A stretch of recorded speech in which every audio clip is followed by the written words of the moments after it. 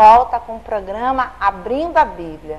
E hoje nós estaremos compartilhando com você sobre o tema que se encontra no livro do profeta Samuel, em 2 Samuel, no capítulo 6, do versículo 9 em diante. Queremos lembrar você que você pode estar ligando para o Disque Paz, fazendo o seu pedido de oração, é, colocando aquilo que você precisa que Deus ele intervenha no seu lar, na sua família, na vida dos seus filhos, na vida do seu esposo, na sua própria vida. Você pode estar ligando a partir de agora e no final nós estaremos orando pelos pedidos de orações. E hoje nós vamos estar falando sobre a presença de Jesus no nosso lar. Eu sei que você deve estar pensando aí, eu já tenho a presença de Jesus na minha casa, na minha família, no meu lar. Mas, muitas das vezes, nós esquecemos o que Jesus ele pode fazer na nossa família, na nossa casa, no nosso lar. E eu quero junto, né, trazer a memória sua, né, para que você possa receber tudo aquilo que Deus tem para dar na sua vida. O livro do profeta Samuel, em 2 Samuel, capítulo 6, versículo 9, diz assim a palavra do Senhor: Temeu Davi ao Senhor naquele dia e disse: Como virá a mim a arca do Senhor? Não quis Davi retirar para junto de si a arca do Senhor para a cidade de Davi, mas a fez levar à casa de Obed-edom, o geteu. No versículo 11 diz assim: E ficou a arca do Senhor em casa de Obed-edom, o geteu, três meses, e o Senhor o abençoou e, e a toda a sua casa. Olha que maravilha essa palavra, esse texto que nós acabamos de ler e nesse texto nós vemos como é importante a presença de Jesus na nossa casa. Como é importante obedecer ao Senhor de todo o nosso coração. E quando nós fazemos isto, quando eu e você trazemos a presença de Deus para o nosso lar, todos os nossos dias são abençoados. Nós vivemos uma momentos de dificuldade, de luta, de tribulação, mas o Senhor, ele nos sustenta. O Senhor, ele faz com que a tempestade ela se acalme e ele traz, né, a bonança sobre o nosso lar. E Obed-edom, né, ele nos ensina através da palavra de Deus que a presença de Deus ela é muito importante. A presença de Deus ela é real. E quando o Senhor ele entra na nossa casa, nas nossas vidas, nós temos as nossas vidas transformadas, os nossos lares transformados, a nossa família transformada. E a, a palavra de Deus, o texto antes desse que nós lemos, ela fala que a arca do Senhor, que simbolizava a presença de Deus, ela esteve na casa de uma outra pessoa, de um outro homem, que se chamava Abinadab. E ele teve a oportunidade de cuidar da arca. Ele teve a oportunidade de ser abençoado. A palavra de Deus diz que foram muitos anos que Abinadab teve né, a arca, a presença de Deus no seu lar. Mas o rei Davi, sabendo da importância sabendo de que a presença de Deus ela é fundamental na vida de um homem, de uma mulher, de uma cidade, de uma nação. Ele traz a arca para Jerusalém. Ele pede para que a arca volte para Jerusalém e desta forma levar a nação, né, aquele povo a adorar ao único e verdadeiro Deus. Mas o interessante é que tudo isto, nós vemos que na palavra de Deus, a, a, vida de Abinadab e sua casa, até mesmo a sua cidade, em nenhum momento ela diz que eles foram abençoados. De forma diferente na casa de Obed-Edom.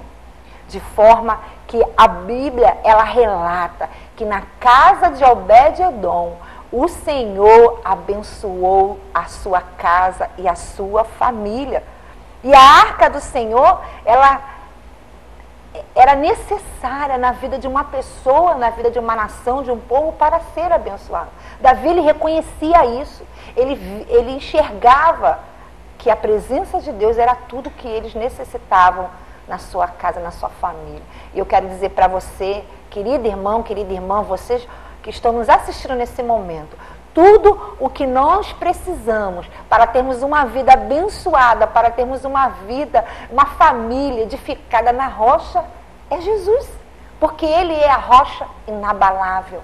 É Ele que faz parte né, é, da provisão. Ele é a provisão para as nossas vidas, para a nossa família, para o nosso lar. E a oportunidade de desfrutar uma comunhão, a presença de Deus né, naquele povo era trazer a arca. Daquele povo ser abençoado, adorar o único Deus, era trazer a arca de Deus para a sua vida, para aquele lugar, para Jerusalém. Mas será o que, que aconteceu na vida de Abinadab para que ele não tivesse sido abençoado, nem ele e nem a sua casa? O que será que faltou para que Abinadab tivesse dias abençoados, dias de vitória na sua casa? Será que faltou adoração? Será que faltou eles darem importância, reconhecerem dentro dele a, a, os seus filhos, toda a sua família, reconhecer que Jesus, que a presença de Deus era primordial, que a arca era essencial na casa dele? Será que faltou meditação na palavra? Será que faltou eles se consagrarem? Será que faltou eles jejuarem? Será que faltou um momento entre família, um momento em que os seus filhos e todos eles se reunissem para buscar a Deus? Será que talvez nem é isso que está faltando no seu lar, na sua casa, na sua família? Será que talvez é, você não precise né, tirar um tempo para adorar a Deus? Será que você está deixando a presença de Deus né, não sendo o centro do, da sua casa, do seu lar? Será que falta isso? Será que falta vocês abrirem a palavra de Deus e fazerem seu, aquele momento do culto doméstico? Porque eu creio que foi isso na vida de Abinadab. Ele deixou de colocar o Senhor como centro da sua vida, como centro do seu lar. E nós vimos que na vida de Obed-Edom, Três meses a Bíblia relata que a arca ficou na casa dele. E durante esses três meses, ele e seus filhos, eles nunca mais saíram da presença da arca.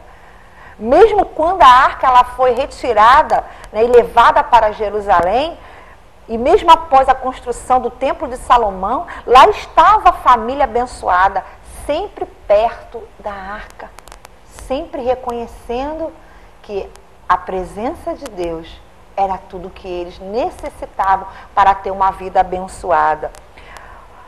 Mas sabemos que na palavra de Deus, que as bênçãos, elas foram tão grandiosas na vida de Obed-edom, que chegou ao ouvido do rei Davi.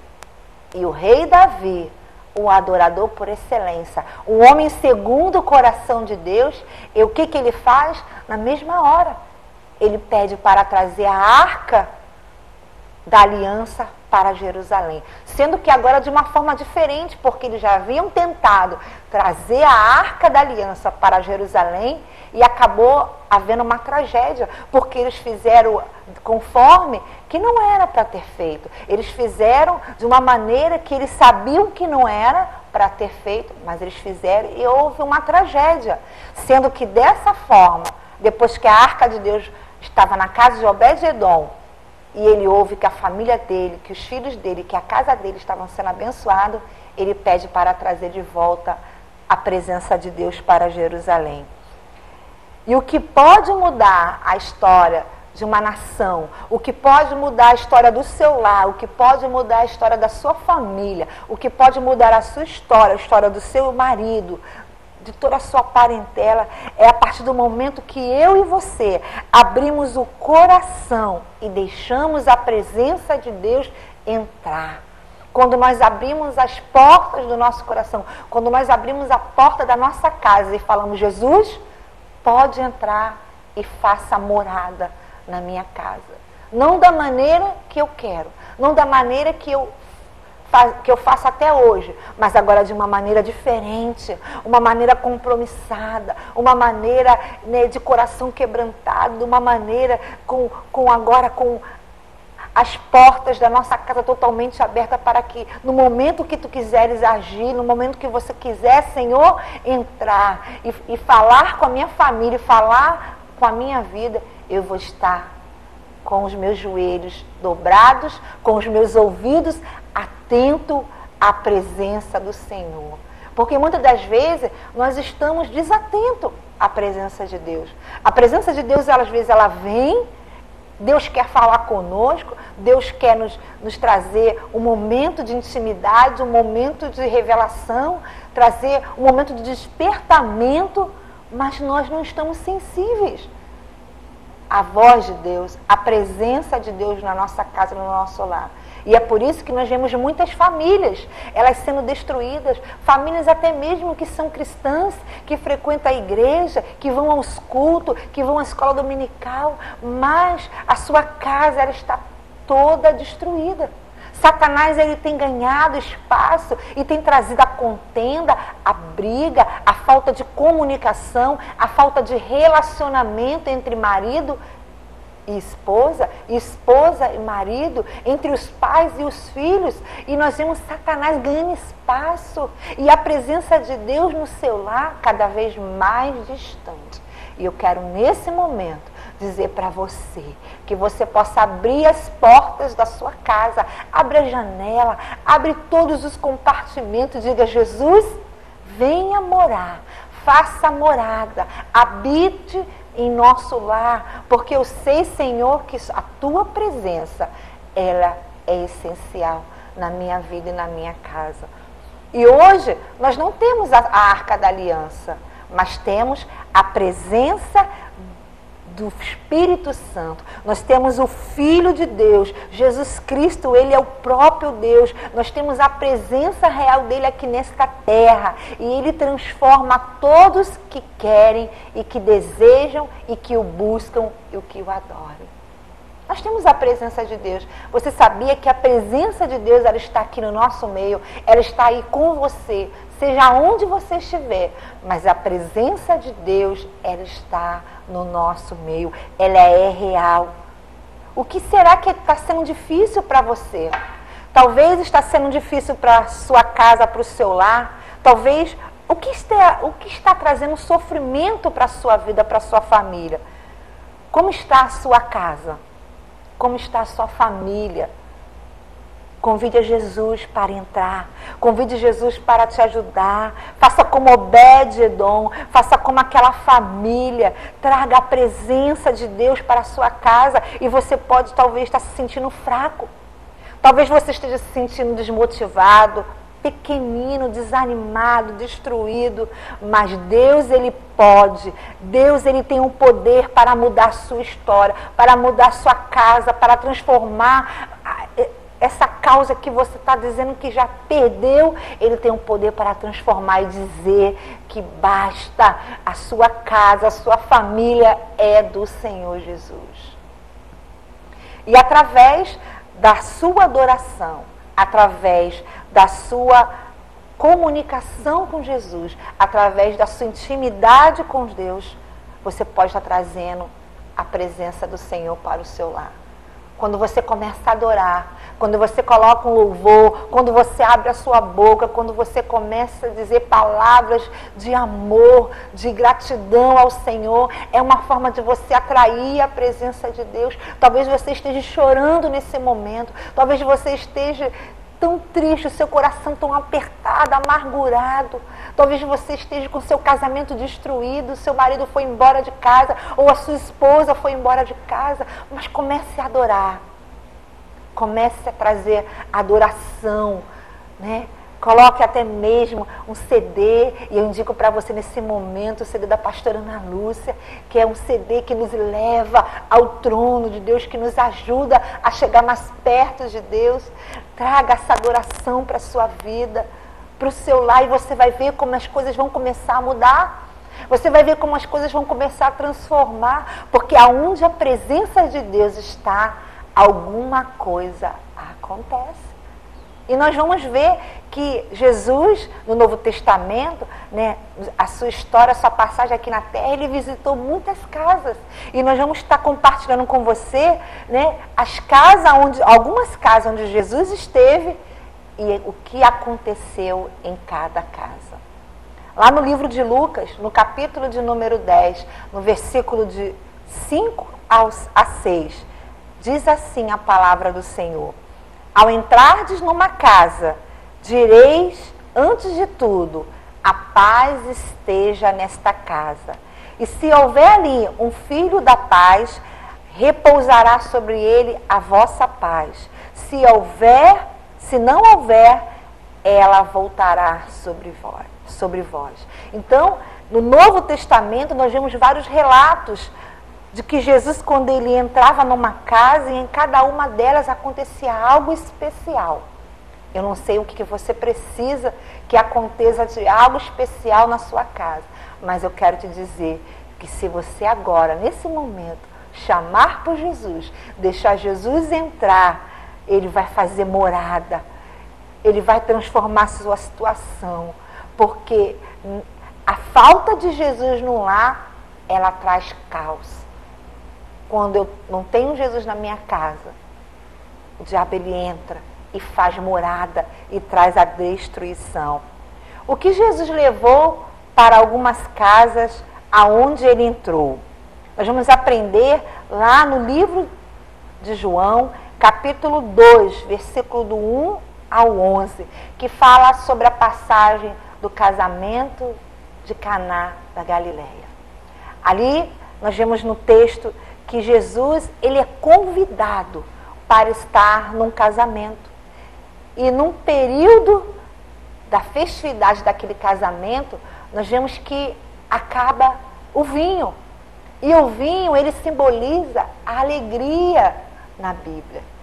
A alegria faltou naquele momento daquele casamento. E eu não sei se a tristeza ela tem invadido a sua casa, o seu lar, o seu coração. Mas naquele momento disseram para Jesus: Olha, acabou o vinho. E o que Jesus fez? Jesus pegou algumas taças de água e transformou a água em vinho. Jesus ele trouxe a alegria, ele levou a alegria. A família de Jesus também estava com ele naquele casamento e durante aquela festa, naquele momento em que as pessoas disseram: "Olha, a melhor parte não vai poder mais continuar, porque a melhor parte acabou. O vinho, a alegria acabou aqui no casamento. Mas quando Jesus ele chega e ele transforma aquela água em vinho, ele traz a bênção, ele traz a prosperidade. E é isso que eu declaro sobre a sua vida: a bênção de Deus, a prosperidade de Deus no seu lar, a alegria do Senhor, que é a nossa força. Eu profetizo na sua vida, em sua casa, se estiver acabando, se, tiver, se até acabou, a alegria, Jesus pode trazer a alegria para o seu lar.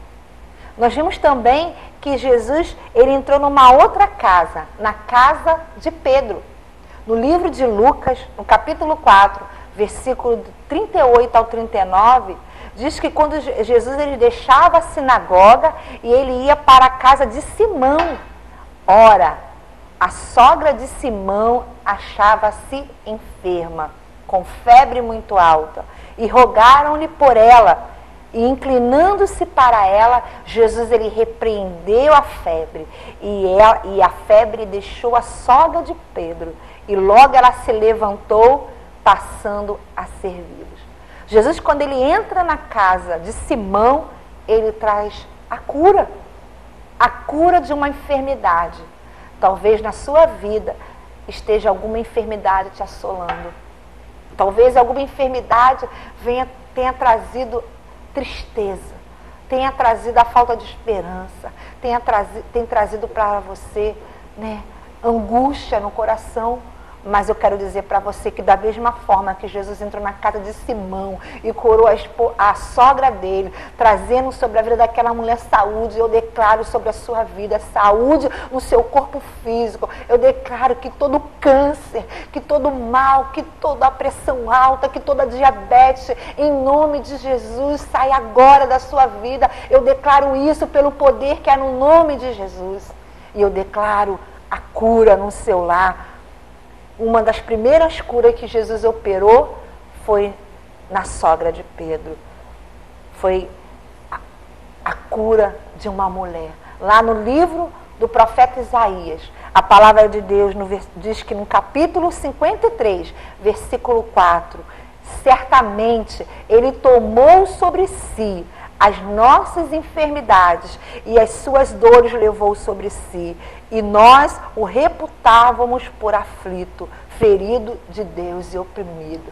Jesus levou sobre ele as nossas dores, as nossas enfermidades. Essa enfermidade não é sua. Esse, essa enfermidade ela não pode ser alojada no seu corpo, porque Jesus ele declarou, né? o profeta Isaías declara que Jesus ele levou sobre si as nossas dores, as nossas enfermidades. Talvez isso seja o que está afligindo a sua casa, a cura, a, a enfermidade. Mas Jesus ele levou a cura, que Jesus ele leve a cura. Deixe Jesus entrar na sua casa e que a cura te alcance neste dia. Nós também temos na casa em Cafarnaum.